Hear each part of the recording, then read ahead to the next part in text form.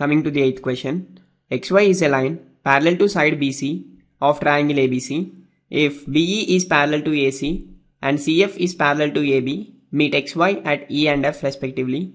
Show that area of triangle ABE is equal to area of triangle ACF. Now moving on to the solution.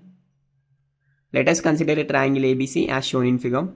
In this, he says that there is a line XY which is parallel to BC and he says BE is drawn such that it is parallel to AC. So let us join here BE with X.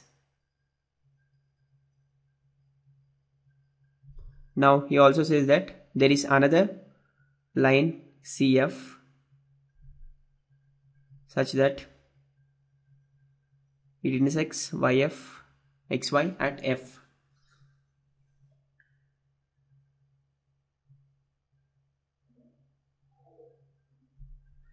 Now, initially it is given that XY is parallel to BC and now let us consider quadrilateral BEYC.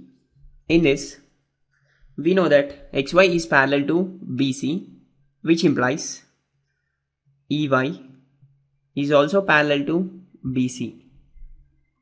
And also he has given that AC is parallel to BE which is drawn by us that implies CY will be parallel to EB. Therefore, here in the quadrilateral BCYE, two opposite pair of lines are parallel.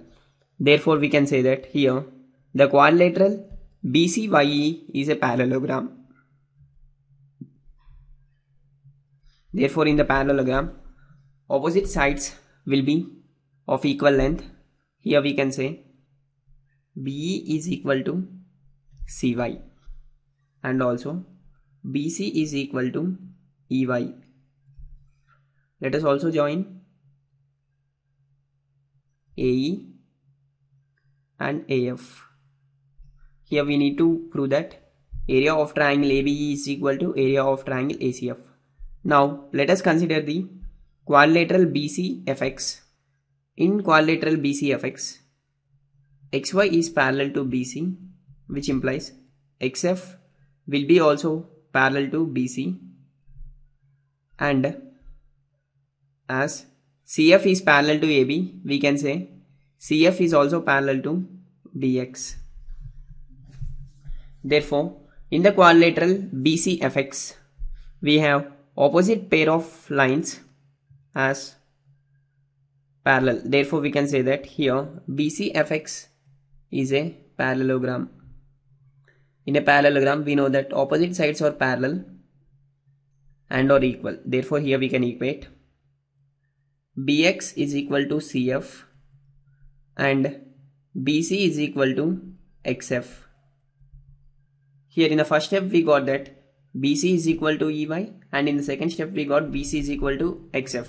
Therefore, here we can equate EY is equal to XF which implies EY is nothing but EX plus XY that is equal to XF is nothing but XY plus YF that implies EX is equal to FY.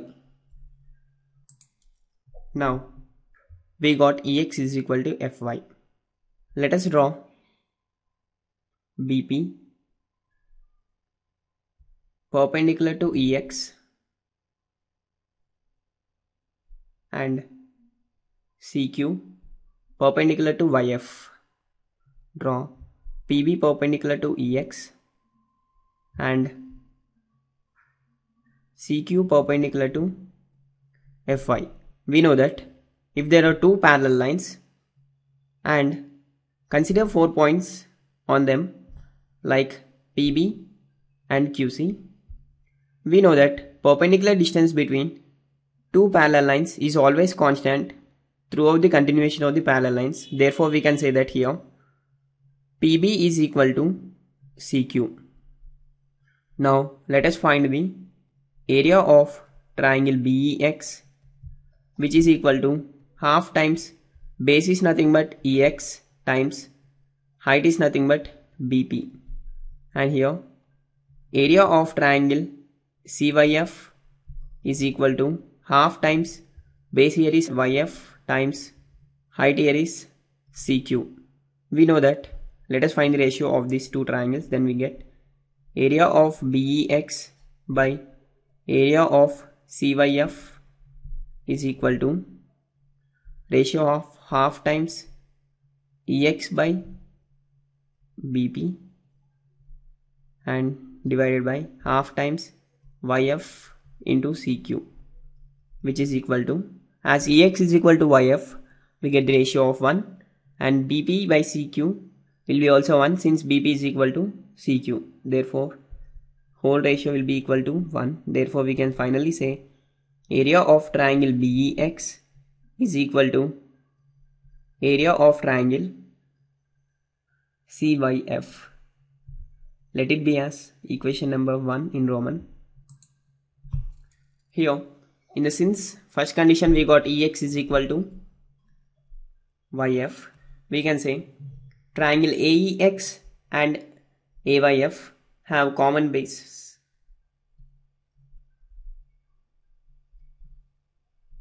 As some AZ will be the perpendicular height for both the triangles.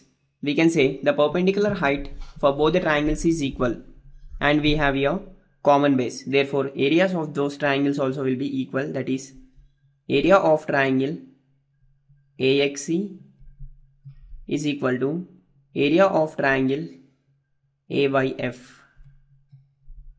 Let it be as equation number 2 in Roman. Now by adding 1 and 2 we get area of triangle BEX plus area of triangle AXE is equal to area of triangle CYF plus area of triangle AYF which implies area of triangle BEX plus AXE is nothing but area of triangle ABE or AEB which is equal to area of triangle CYF plus AYF is nothing but area of triangle ACF. So this is what the required proof for us and it is hence proved.